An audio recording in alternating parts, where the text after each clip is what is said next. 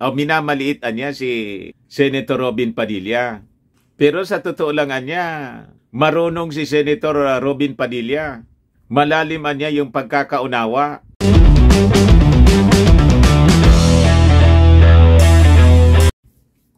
O gusto nang gibain mga kababayan ni Senator Robin Padilla yung party list uh, system. Siguradong uh, magagalit niyan sa iyo, Binoy, yung mga grupong Makay Blood Black. What? Ay, Makay Blood. Makabayan pala. uh, maka, makabayan na Makay Blood. Ito mga kababayan yung balita ngayon. Oh. Gulo na naman po ito. Amid Chacha Moves, Robin Padilla wants party list system abolished. Yan na, yan dapat ang unang una nating gibain, sabi po ng senador. Sa bagay, may punto naman po si Binoy. Ako, approve. Matagal na nating sinusulong. Pinasok na ng mga oligarchs yung party list system. Una, yung mga pumasok, yung mga grupong maka-high blood pro-oligarchs. Kala ninyo? Pro-masses? Pro-oligarchs po? Hindi man po pro-masses, pro-oligarchs. Kung sino yung mga oligarchs dito, kaya nga suportado nila yung privatization po. So yung resulta, lalong nagulo yung ating uh, bansa at uh, naghirap. Uh, yun ang strategy, strategy nila para tuloy-tuloy ang problema na yung problemang yon yung ginagamit nila para magalit yung tao.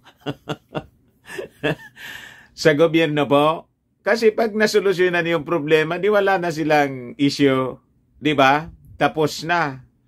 Uh, they will be ano rendered irrelevant sa ating society. Kaya itong mga tao ito, ayaw ng solusyon. Pag yung uh, nakaupong gobyerno nagsulong ng solusyon sa mga problema, ayaw nila, laging kontra. In afterwards, mga kababayan, pumasok tuloy yung mga mayayaman. Ayun na po, lalong nagulo yung party list system. Ngayon, gustong ipabu ipa-abolish na mga kababayan ni Binoy. Ah, ito sabi rito. Senator Robin Hood Padilla on Sunday said abolishing the party list system should be a top priority. Should Congress decide to form a constitutional convention or CONCON as a way to amend the 1987 Constitution. Ano tingin ninyo pa? Post your comments mga kababayan para magkaroon po ng ano ng uh, aktibong talakayan. Importante yung participation natin, yung publiko. So, ano yung position ninyo po, mga kababayan? So, ito yung proposal ni, ano, ni Senator Padilla. Kung mapupunta tayo sa CONCON, yan dapat una nating gibain. Dahil ang party list system ay may goodness, gracious, Di ko na makita mula magdesisyon ng ating Korte Suprema na payagan na pati mga mayayaman nawala na nawala na po ng anghang at su- sustansya sabi po ni Senator Robin. Ang kinatawan sa sistemang ito naging katawa-tawa.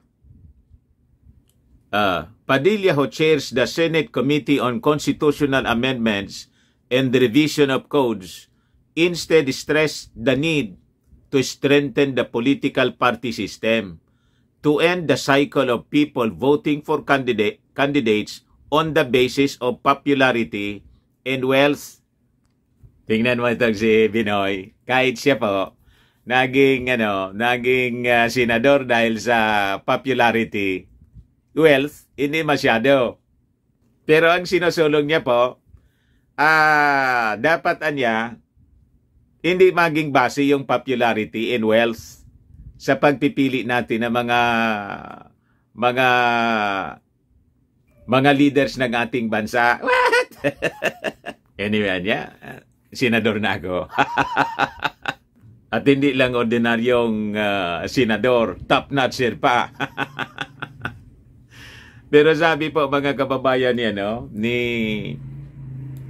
uh, Senator Juan Ponce Enrile, ang ang iba ngay ang iba niya ang tingin kay kay oh, minamaliit niya si Senator Robin Padilla. Pero sa totoo lang niya, marunong si Senator Robin Padilla malalim niya yung pagkakaunawa. Ayun si. Yan po yung tingin, yung naging uh, comment ni Indrili sa interview po ng SMNI.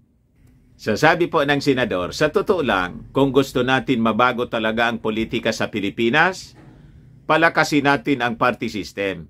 Tigilan na po natin ang kaboboto dahil sikat at dahil ito ay may pera sabi po ni Padilla. Although uh, may patama sa kanya yung sarili niyang statement. What? Backfire? Alam ninyo kung nabago natin ang konstitusyon at mapalakas natin ang partido, ang iboboto ninyo na po ang adhikain ng partido. Di na yung sikat. May punto po siya, mga kababayan. Tama? So doon tayo boboto sa kung anong uri ng partido, yung advokasya niya, para pag pinili natin yung uh, advokasya ng uh, partido, then iyon ang i-implement. So una rito mga, mga kababayan, sabi po ni Binoy, he is not opposed to amending the 1987 Constitution's political provisions through CONCON. However, he also said that amending the charter, charter's economic provisions through a constituent uh, assembly or uh, CONAS should come first.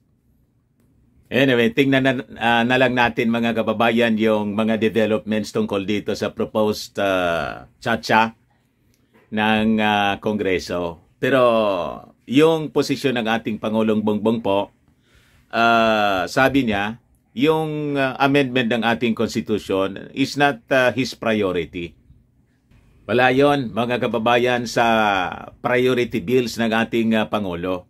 Ang uh, mga priorities niya, yung mga uh, yung mga legislations that will uh, strengthen our agriculture at uh, yung ating economy.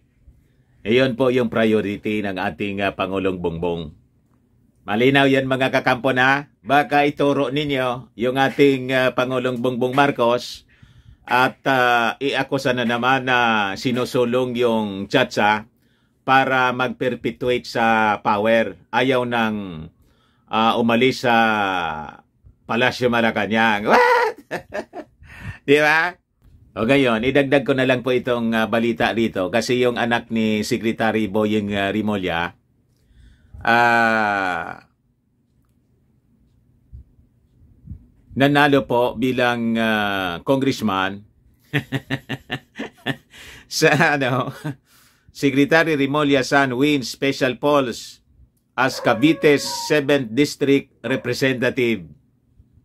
Yung mga galit sa secretary po, siguradong ano, umuusok na naman yung pakiramdam ngayon. What? Di ba? Yung mga galit kay Rimulya, the Commission on Elections, yan ang gusto ng tao. Oh, anong magagawa natin? Kung sino yung pinili ng mga tao, yun ang dapat na uh, irespeto natin yung kanilang uh, mandato. Dapat ganun tayo. Democracy. Di ba? Oh, so sabi rito, the COMELEC on Sunday proclaimed Cavite Board member Crispin Pingrimolia as the new representative of the province 7th district after the poll body conducted a special election for the vacant seat. Ito yung uh, distrito na nabakante kasi inappoint ng ating Pangulo as Secretary ng uh, Department of Justice si Boying, incumbent uh, congressman. So with that, diretso na pong claim yung anak ni Boying. The proclamation was uh, witnessed by Comelec Chairman George Garcia and four other uh, poll commissioners. Ping is the son of Jesus Crispin Boying Rimolya, who won the said post in 2022 election but gave up the position after being appointed as Justice Secretary. Ayan man lang po mga kababayan yung mga balita ngayon. Baka lang gusto ninyo po itong itry. Firmax, Firming and Lifting Cream. Pinapahid po sa mga pulses and affected area. Mainam po sa paninigas ng mga kaso-kasuan. Ito naman po, Automax Regen Serum. Anti-aging po siya. Sa mukha naman po yung application. Uh, you will look 10 years younger than your age. Sa mga cancer patients po, uh, try lang po ninyo ito. Nengxia Red Mix Fruit Drink. Di man po siya gamot, food supplement siya. Kaya lang, gawa siya mga kababayan sa goji berry. Yung goji berry may anti-cancer properties. Ayos. O yung mga inquiries po ninyo, dumiritso na lang kayo sa aming messenger sa Facebook para masagot namin agad. Ako po si Dante Maravillas. Bye-bye. God bless.